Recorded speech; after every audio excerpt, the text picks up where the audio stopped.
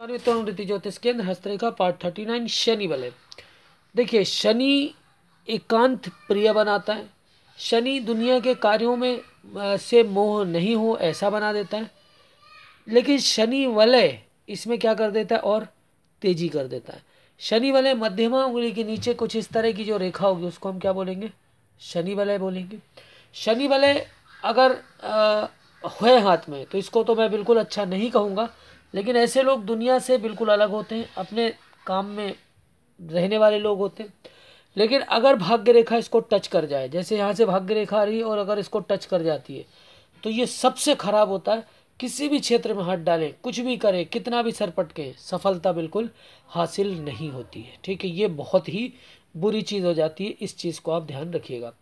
इसके अलावा, अगर शनि वलय की बात करूँ, शनि वलय कुछ ऐसा होता है कि कुछ अपने द्वारा किए गए ऐसे काम होते हैं जिसके द्वारा खुद दुखी होते हैं। इस तरह की भी चीज़ होती संन्यास लूँ कि ना लूँ?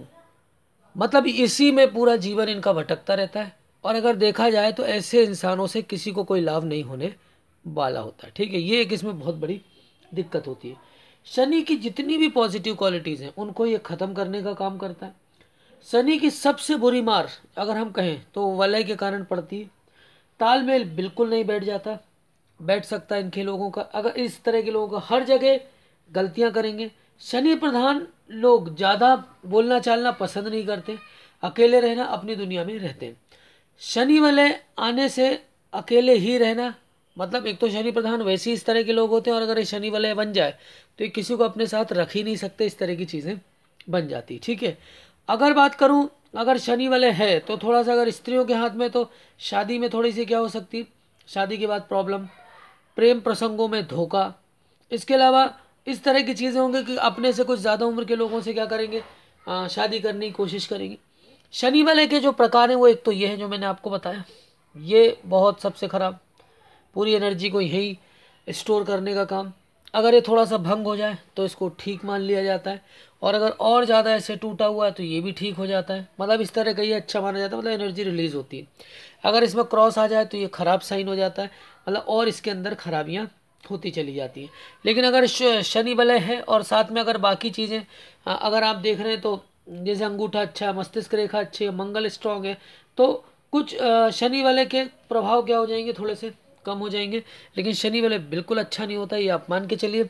अगर बुध वाले है मैं आपको बुध में एक चीज़ बताना भूल गया था कि बुध वाले भी अगर टूटा हुआ है बीच से तो थोड़ा ठीक हो जाता है, ठीक है?